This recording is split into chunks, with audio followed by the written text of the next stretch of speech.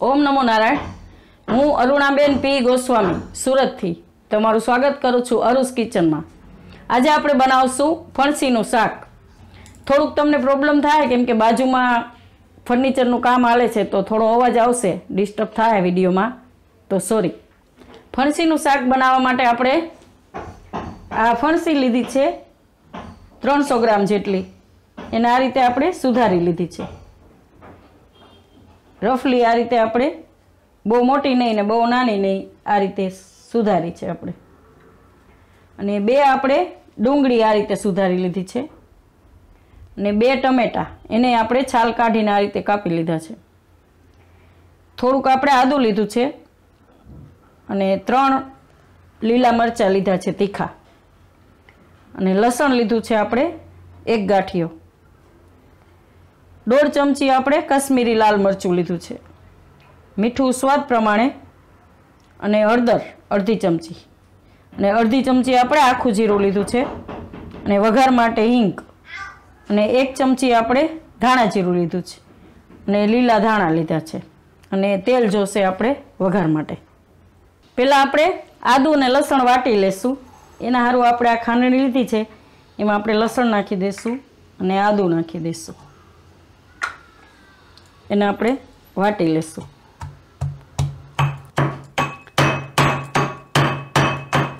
આ રીતે આપણે આદુ ને લસણ વાટી લીધું છે. હવે આપણે વઘાર કરી લેશું. એના હારું આપણે આ એક પેન લીધી છે. ગેસ ચાલુ કરશું આપણે.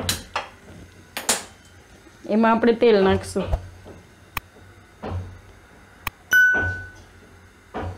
બે ચમચા જેટલું આપણે તેલ એમાં નાખ્યું છે.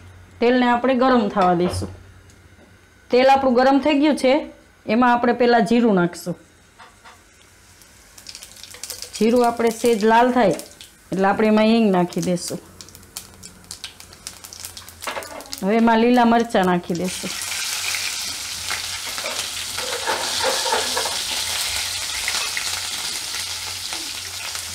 હવે આપણે એમાં ડુંગળી નાખી દઈશું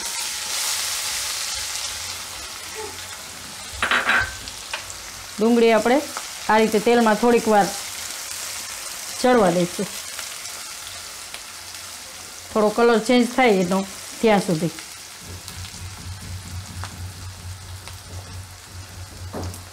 ડુંગળી આપણે આ રીતે થોડી વાર તેલમાં ચડી જાય. એટલે આપણે એમાં હવે આદુ ને લસણ નાખી દઈશું, જે આપણે વાટીને રાખેલું એ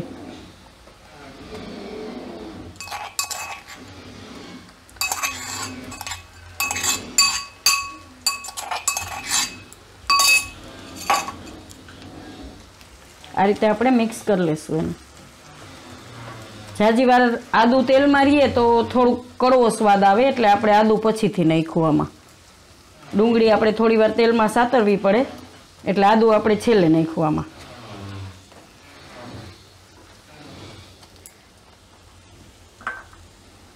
હવે આપણે એમાં હળદર નાખી દઈશું ધાણા જીરું નાખી દઈશું ને મીઠું નાખી દઈશું સ્વાદ પ્રમાણે.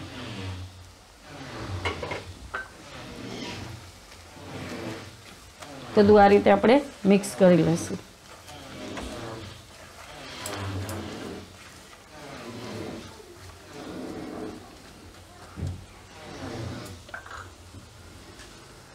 હવે આપણે એમાં લાલ મરચું નાખી દઈશું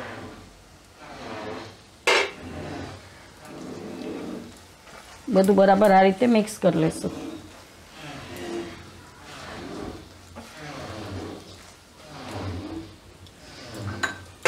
હવે આપણે એમાં ફણસી નાખી દઈશું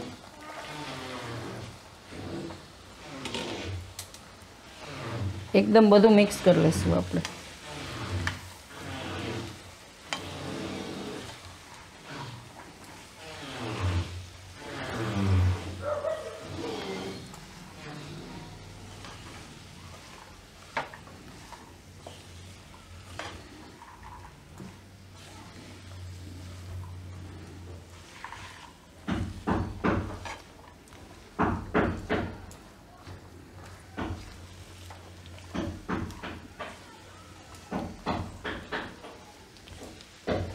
હવે આપણે આને થોડી વાર ઢાંકીને ચડવા દઈશું.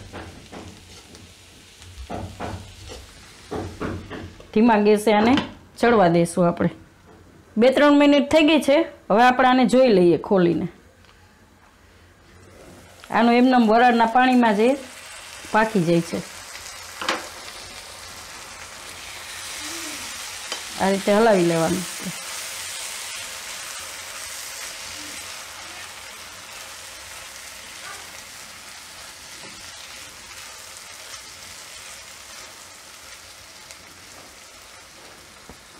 આપણે થોડું ચેક કરી લેશું.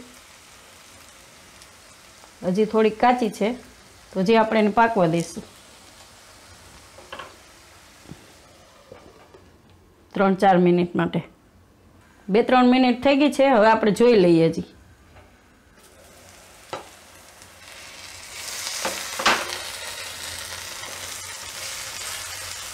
ફણસી આપણી સરસ ઓછી થઈ ગઈ છે.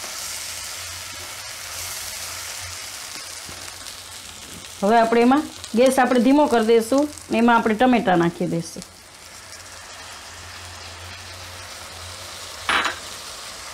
ટમેટા આપણે બરાબર મિક્સ કરી લઈશું.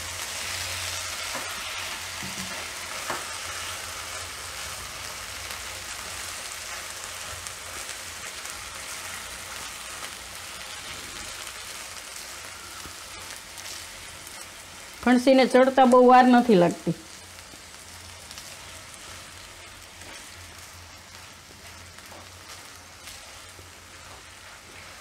હવે આપણે આ ટમેટા પાકી જાય ત્યાં સુધી એને ઢાંકીને ચડવા દેશું. હવે આપણે ચેક કરી લઈએ, ટમેટા ચડી ગયા છે એમ. ટમેટા આપણા ચડી ગયા છે. આપણે છાલ કાઢીને લીધેલા, એટલે ચડતા વાર નહીં લાગે એને. હવે આપણે ગેસ બંધ કરી દઈશું ને નીચે ઉતારી લઈશું એમાં આપણે લીલા ધાણા નાખી દઈશું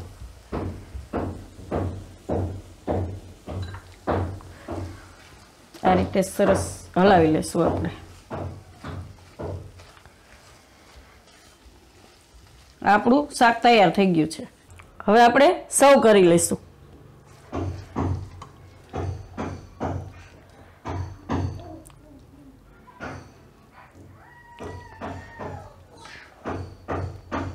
આ શાક ખાવામાં બહુ સરસ લાગે છે. ફણસીનું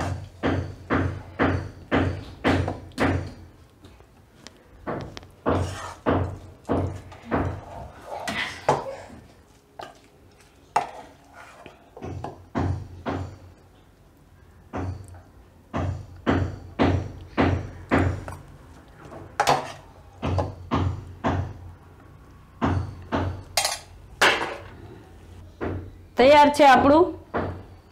ફણસીનું શાક. જો તમને આ મારી રેસીપી પસંદ આવી હોય, તેને લાઇક કરજો શેર કરજો અને મારી ચેનલને સબસ્ક્રાઈબ કરજો. અને બે લાઇકન દબાવવાનું ના ભૂલતા. કમેન્ટ કરીને કહેજો કે તમને કેવું લાગ્યું આ ફણસીનું શાક?